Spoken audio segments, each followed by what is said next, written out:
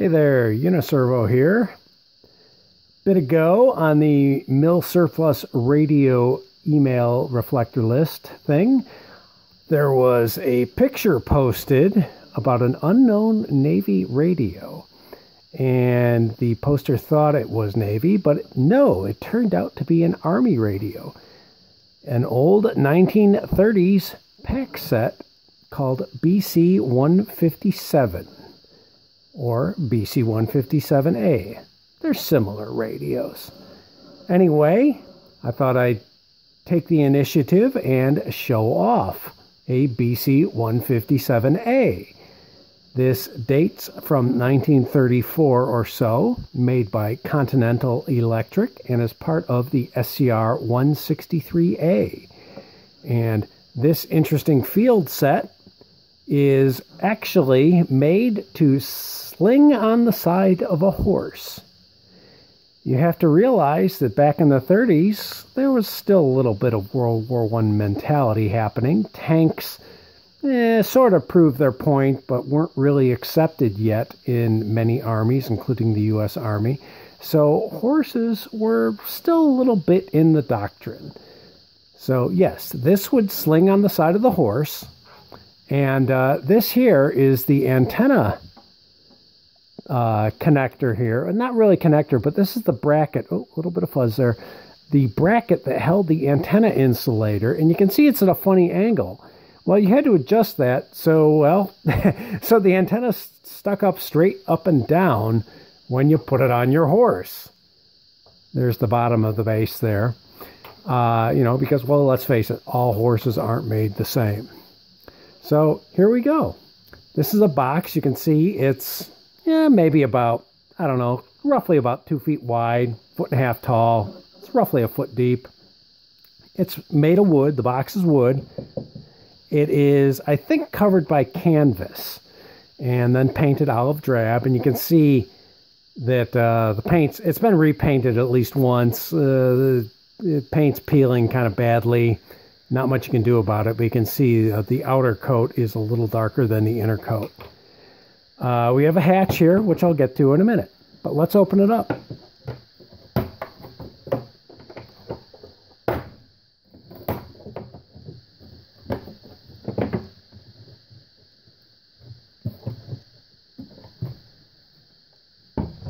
There we go. And of course, we have the hatches getting in the way. Always something, isn't there? Anyway, here we go. BC 157A. Nice tag, Continental Electric. It's got a uh, roughly 1934. You can see 2.3 to 2.7 megacycles. One band. And uh, this is actually is a receiver and transmitter, not a transceiver. So uh, they are more or less two independent things. Uh, we have a space for batteries, which I'll get to in a minute. We've got a key here, Morse key. You can see it's, well, can't really see it. There we go.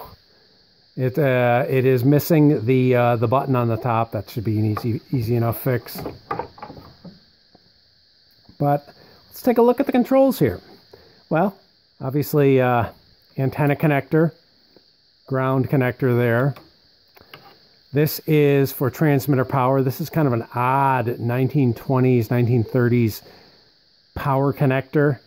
That's the socket. It's weird thing. It doesn't have pins. It's got pads, sort of. It's an oddball thing. They, by the mid 30s, they were out, out of style and weren't used anymore. Uh, we've got, uh, let's see, well, we've got uh, controls for um, the receiver, megacycles, transmitter megacycles. Uh, let's start with the uh, transmitter. Well, obviously you set your frequency here. It's a very simple transmitter. There's not much to it. It's it's master oscillator and final basically. It's it's not much going on. I think they're VT25s. We'll open that up in a minute. Uh, we have uh, you know setting the frequency and um, well tuning up here and uh, that's about it. Receiver, we've got setting the frequency, and yeah, apparently you could set the uh, different frequencies for the uh, transmitter and receiver. it's a regenerative set, so you have a regen control right here. So once again, you dial in your frequency, and then you have to ride the regen control so uh, it doesn't break out into oscillation. Uh, let's see, what else? We've got uh, phone jacks here. And then we have these knobs here, which are for setting the filament voltage. Now, let's face it, power back then, you were out in the field, it was pretty terrible. So you really needed to, to get the filaments set properly. Uh, you didn't want to drive them too high, you didn't want to drive them too low. So with this voltmeter here and this switch, you would select what you wanted to measure. You just tweak tweak the uh, transmitter filament. You tweak the uh, receiver filaments. Pretty simple. We have a more or less TR switch here. And then we have this, which uh, selects the power for the transmitter. Now, what's interesting is this section here is for batteries. You can actually run this more or less, uh, the receiver only, on battery power. Because obviously, if you ran your transmitter on battery power, your batteries would not be happy. So you could receive, you could run this receiver on the batteries. And judging from the cutouts there, it kind of looks like pretty standard number six cells there, probably for the filament. And that brings us back to the hatch here. Open up the hatch, and you have access to the receiver controls. So, yeah, if it was a crummy, rainy day, you could uh, have the hatch up and listen.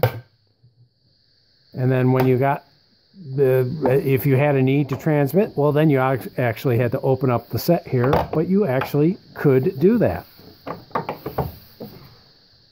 These uh, hasps get in the way a little bit. Now we can open it up here. Let's see how far we can get that. I'm going to have to tilt this down, I think. There we go. Now what's interesting is they actually painted the chassis OD green. And I don't know why. But yeah, pretty typical uh, pretty typical early 30s designs here. You can see it uses VT24s and yeah, I know I don't have the tubes installed.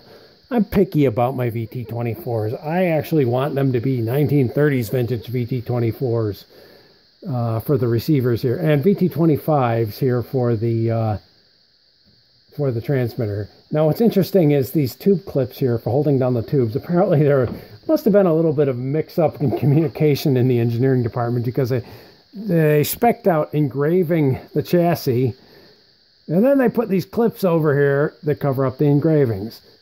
Now, maybe the clips were a, uh, a later feature. I don't know. but uh, mm, minor engineering snafu here. But yeah, pretty typical stuff. We've got some transformers and coils. And, uh, well, that contains the uh, the uh, variometer for the um, variocoupler for the um, transmitter. Pretty simple stuff but interesting the uh, the green chassis. Why they spec the uh, the chassis to be green is beyond me. Okay, and now we're going to be a little bit difficult getting back in. Pardon me, folks, while I try and do this. Well, it's apparently not going to. These sets are finicky. That's interesting. I wonder what's what's causing it to uh, to not want to go down there. There we go. So anyway, yes, BC 157, another early 30s set in my collection. I do love this stuff. Uh, it's hard to find. Um, get it at Hamfest collectors, and rarely at Hamfest. It rarely shows up at, at Hamfest, but uh, collectors, sometimes on eBay. I forget where I got this one. Uh, from a collector, I believe. And uh, yeah, it's a neat set. It's completely unusable by hams today simply because of the frequency band it runs off uh, runs on here. 2.3 to 2.7, very very slim. Yeah, you can't can't really do it. You know, yeah, you could modify it to work on a ham band, but no, don't do that. Don't do that. These things are it's not worth it basically. Don't don't modify these things to uh to, to, to shoehorn them into to your requirements. Just appreciate them how they are. A neat set. Um, I do have some other bits and pieces to the SCR 163A, but this is the main unit, the BC 157A. Okay, well, hope you like this. I'll keep bringing uh, 1930s radios out, maybe some 20 sets. I really don't collect World War II sets anymore. I got rid of most of them. But I do like the 20s and 30s sets. So yeah, leave a like if you like. Maybe share, subscribe, look at a few past videos in the library. There are some more 30 sets back there.